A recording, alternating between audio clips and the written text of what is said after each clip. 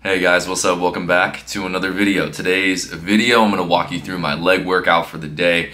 This is a great workout to do that can really help you build muscle and build strength as well. Let's go ahead and dive in.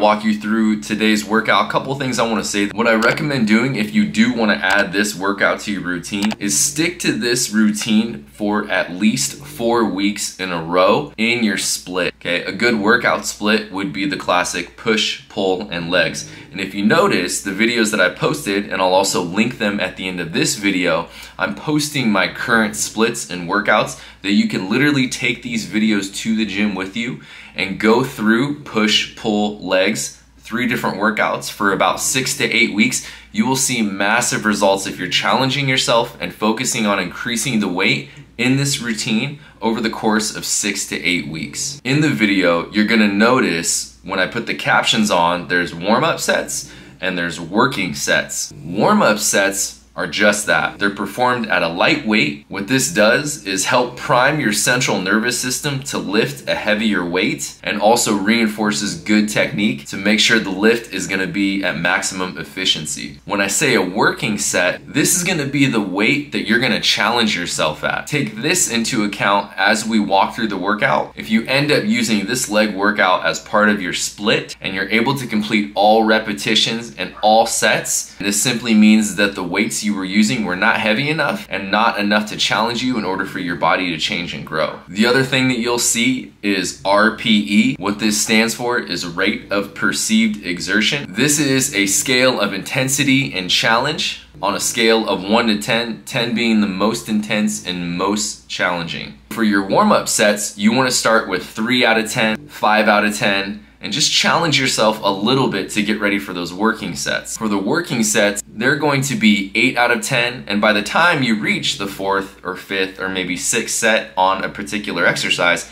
you're definitely going to be at a 10 out of 10 RPE, or at least you should be, and this is what's gonna make your muscles change and grow. Make sure you stay until the end of the video because two other things that we need to talk about to make sure that you're seeing progress in your body transformation is your calorie intake and your protein intake. Let's go ahead and jump into today's workout.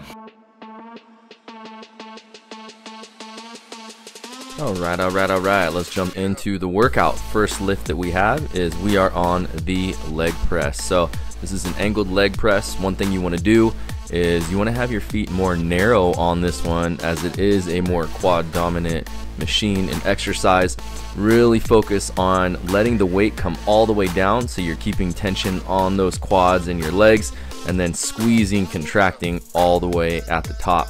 Second lift, we're moving on to a Romanian deadlift, also known as a straight leg deadlift. So if you notice, we went from quads and now we're moving into hamstrings or working the posterior chain if you want to get fancy and use that name. One uh, Fun fact about Romanian deadlifts you may not know. It's actually called a Romanian deadlift because this is the technique that Roman soldiers used to use in order to pick the dead bodies up off the battlefield. So, bet you didn't know that, or you might have, I don't know. Anyways, what you want to make sure you're doing when you're doing Romanian deadlifts, super important. You're to have what I call soft knees, just barely bent, not locked out and then you'll see from the side view here, the most important thing is that you hinge your hips backwards and keep that straight spine. So if you watch me right here, my spine is entirely straight. We're gonna work the hammies, we're gonna work the glutes on this one, and once you get to the higher weights, you'll definitely be hitting a little bit heavier weight. So leg extension here is the next exercise. Quad focus exercises what we're gonna be doing here. You really wanna focus on contracting and squeezing all, that guy's trying to take my phone, man. Shoot, now he returning it. Nah, he, he was cool about it. He thought uh, my phone was his. We had the same case, and I caught him on camera. But anyways, so yeah, man, uh, we're gonna get back to the leg extensions. And again, we want to fully contract and squeeze at the top. And I noticed one thing you want to do is watch yourself on video because I noticed that I'm really not contracting all the way at the top, which means I need to lower the weight.